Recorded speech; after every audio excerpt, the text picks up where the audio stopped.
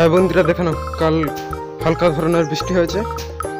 দেখে নাও সব ধান গুইছে দিছি সঙ্গে সঙ্গে ধানের ভেতর রেখে দিছি এবারে খড়গা দিয়ে দেওয়া হচ্ছে। ওপারে।